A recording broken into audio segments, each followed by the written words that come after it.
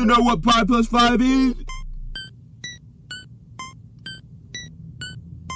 My favorite color green.